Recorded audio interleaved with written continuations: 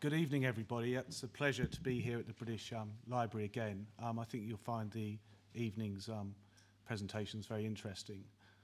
I um, founded King of Shaves having been made redundant back in 93, and um, ignorance was bliss, I think, where I was concerned with regard to Gillette. I didn't know it was a $59 billion business. Um, I do now, given what they're spending in the market against us. But I think what I just want to go through this evening is really very briefly uh, some key bullet points, and then we're going to obviously hear from the other guys and then take the questions and from you, the audience, which is the most important thing. I'm a big advocate of what I call um, digital dialogue over um, brand broadcast. Um, brand broadcast, that's TV commercials to people who still watch TV. And in fact, um, in June, um, internet consumption actually overtook TV consumption, um, according to a presentation I saw at a Boots major supply conference yesterday. So there's lots of crazy stuff going on, very fast moving stuff, all very interesting.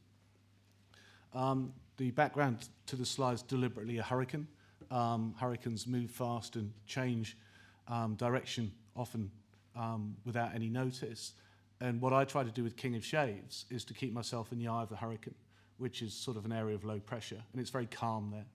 And you keep yourself in that space by being essentially in command of what you're doing with your brand, the um, conversations you're having with your consumer, hopefully generally good, good conversations, good feedback, but sometimes not, and we'll come on to Twitter from a customer service perspective.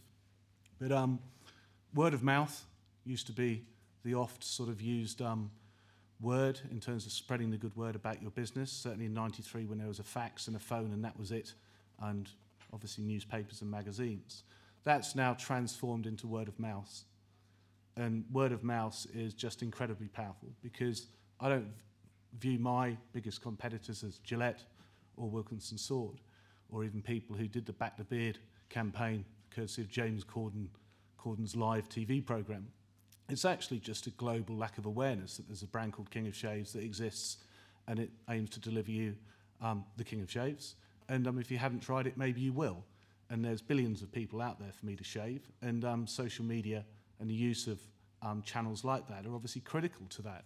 And accelerating that word of mouth into word of mouth is, you know, the prime reason why I'm here to chat to you guys today. Secondly, um, content's king.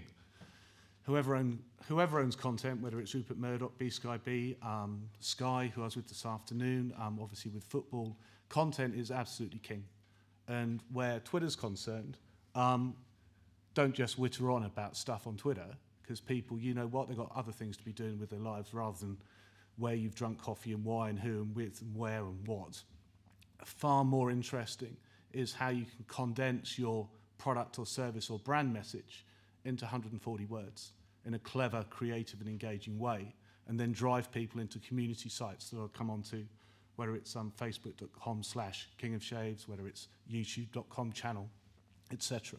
Because it's only where communities exist that conversations take place. And from a brand owner's perspective, that's scary. Or it can be scary if your product's not that great or you're not doing a great job.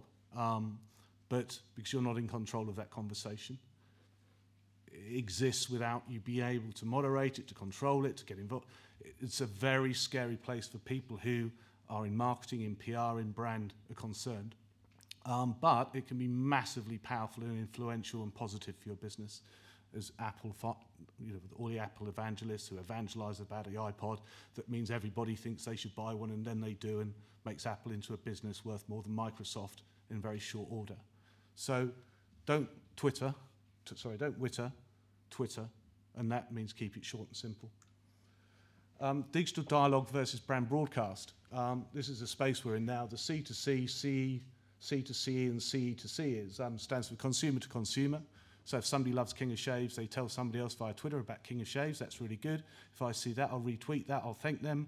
And then hopefully they'll tell other people, and that word of mouth will spread. The C to CE is um, consumer to celebrity. Um, quite recently, Dom Jolly tweeted out that he was looking for a new razor. About half a dozen King of Shaves followers jumped in, told him to DM to follow and DM me. He did. I sent him out a copy of. Um, I sent him out some product, a copy of my book, asked for his feedback. Absolutely fantastic. Similarly with Stephen Fry, who's a King of Shaves shaving oil guy. um, that I met recently. That consumer to celebrity recommendation, which is, is turning the celebrity to consumer sort of brand broadcast on its head, is very, very interesting because we're all people out there and we're all looking for the best solution. And then CE to, as I said, CE to C, but it can be good or bad. You know, you're not in control of that.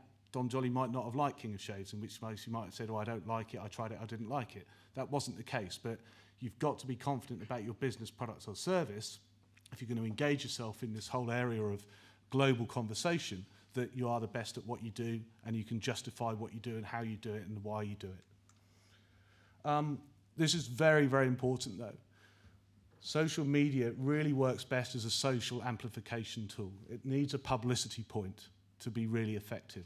So on 19th of July, we've got a very sexy shave viral ad debuts on our YouTube and King of Shaves Facebook pages called Barbarella X. Um, we're starting to build momentum for that. That will debut, and then we'll then use social media to amplify that. And by social media, we'll serve ads on Facebook, maybe a billion ads um, worldwide um, in the UK, US, Australia, and New Zealand.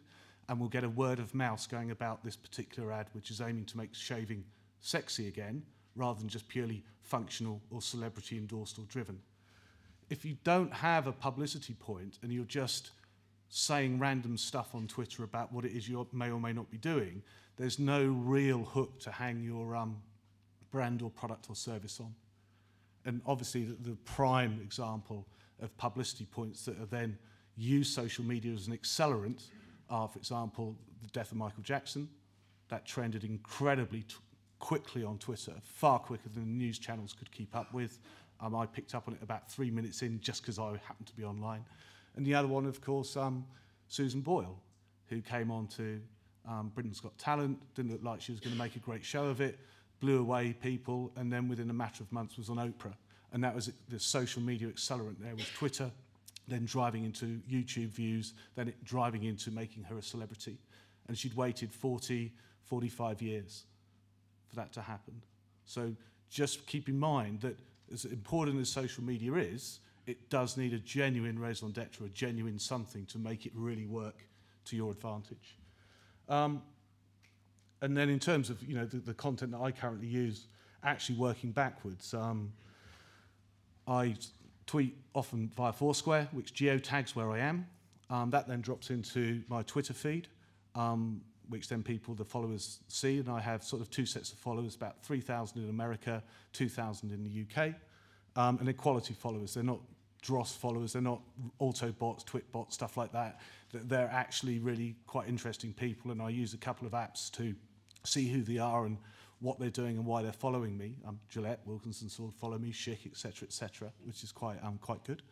And that Twitter feed then drops straight into the King of Shaves Facebook page, facebook.com slash King of Shaves, as a feed, and if you're interested on it, you can then comment on it. Um, and it's important from social media protocol that if you're posting in Facebook, you don't use sort of things like hashtags unless they're part of a Twitter feed, because that goes against sort of like the, the posting protocols there.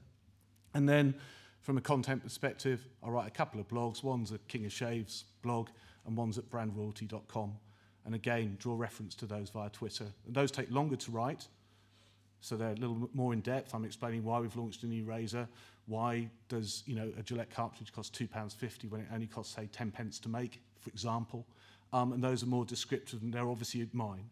And I think the final thing is, as CEO founder of King of Shaves, I use common sense when I tweet because once you've said it, it is out there forever. forever. And just keep that in mind. It's not a pub conversation with your mates down the pub about what you should or shouldn't be doing. The Sky Media chap I was with today, who's head of media there, says he's weaned himself off twittering after he's had a few pints of lager now because you never know what you might say and then how that might come round and bite you. So that's me, that's the brand, and um, thank you very much for listening.